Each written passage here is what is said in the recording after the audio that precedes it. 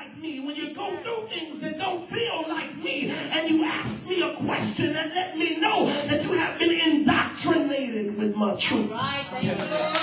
Amen. Thank Questions don't bother God. Amen.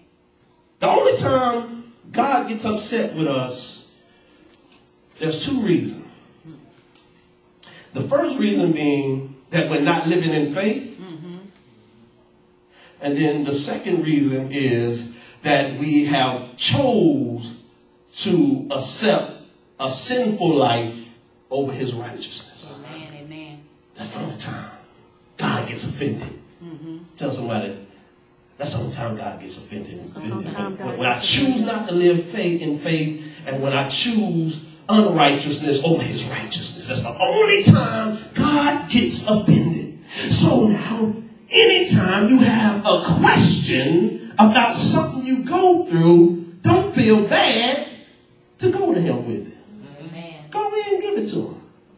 So when we see here the psalmist is questioning God, he is really exercising his right to an audience with God because he knows where he can get his questions answered.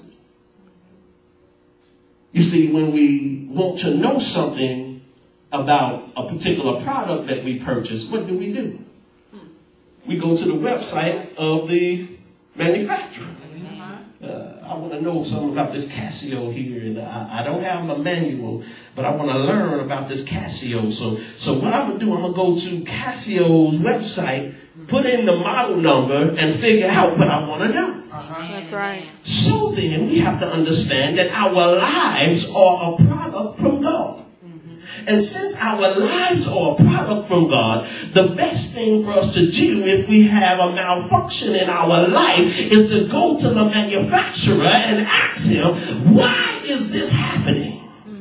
How can I get this fixed? Uh, tell somebody, how, how, how can I get this fixed? Uh, ask somebody, how can I get this fixed? Boys ain't open his mouth all day. Uh, Yes, God. All right. All right. Ooh, man.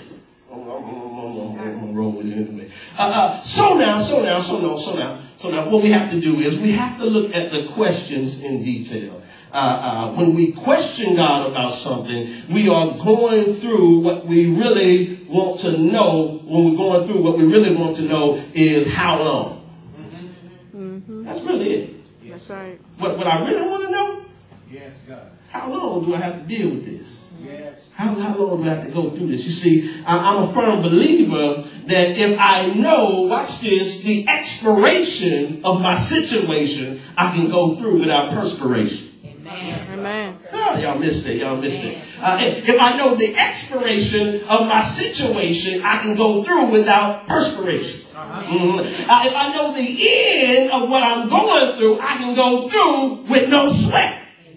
Uh, tell somebody, no sweat, no sweat, no sweat, don't sweat it, don't sweat it, don't sweat it. Uh, you know, I'll be like that kid uh, at Christmas time, counting down the days to Christmas. If I knew when I was coming out, I'd just be like 30 days slash 29 days slash 28 days. I'm just chilling because I know I'm coming out. Uh, uh, uh, 27 days slash, oh my God, 26 days slash. I'll be counting down the days until I walk out.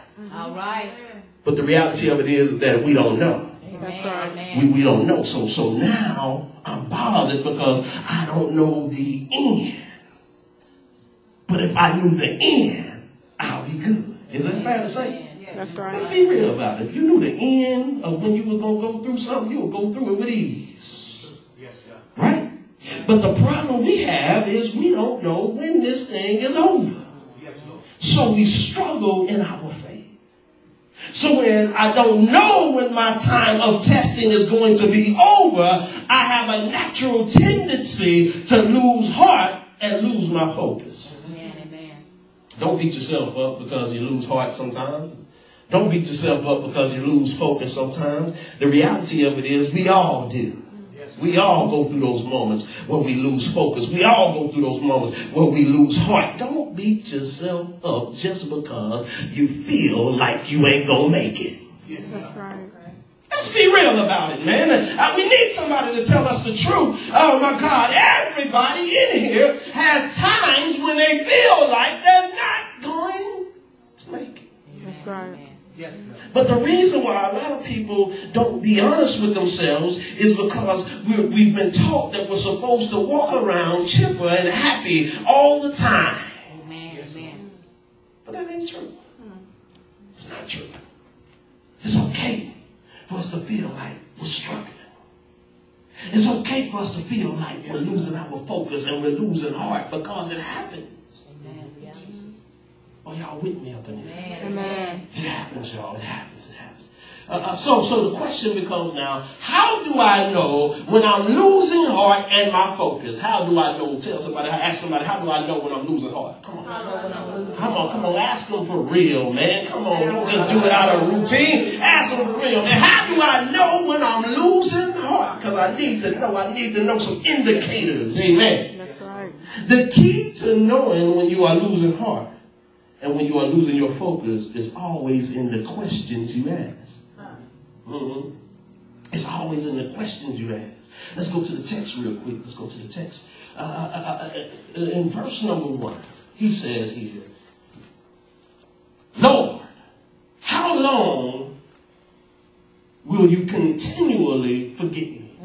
Mm. How long will you continually forget me? The first thing we must take note of is this man feels abandoned. He feels abandoned. He feels abandoned. Uh, uh, has anyone ever felt abandoned before? Be real. Tell me the truth. Don't don't don't, uh, act too sanctified and act like I ain't never been through nothing. Tell the truth. I felt abandoned. Mm. And see, when you feel abandoned, it's almost like God and the rest of the world is overlooking you. I feel left alone. I, I- I feel shut out. I feel like nobody cares. I, feel like nobody is worried about me. I feel like nobody want to pick up the phone and call me and check on me. What's up with this? I feel abandoned. Amen. Thank you, Lord. Nobody knows what I'm going through. Nobody knows that I, I got a pink slip last week. Nobody knows that my daughter is sick. Nobody knows and nobody cares that I, I haven't I haven't eaten in a week and nobody cares that my lights are about to get cut off. Amen. Where is God in all of this? Where is God in this? Amen. I feel abandoned. Then the second question comes up. Lord, how long will you hide your face from me? How long? Lord?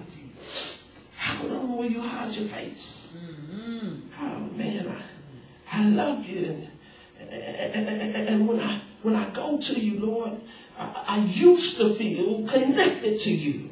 Yes, God. Oh God, I used to feel like we had a relationship. I used to feel like we were family. I used to feel, oh my God, that that that that, that when I had my devotional time and, and when I had my prayer time, when I had my worship time on my own, I used to feel something. Yes, God.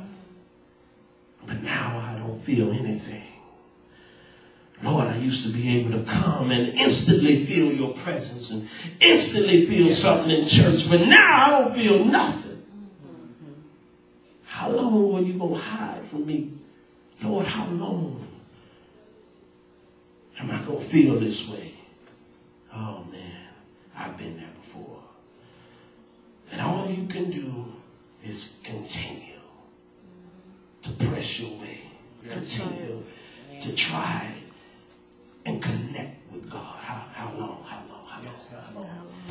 then the third question is, how long will I store up anxious concerns within me?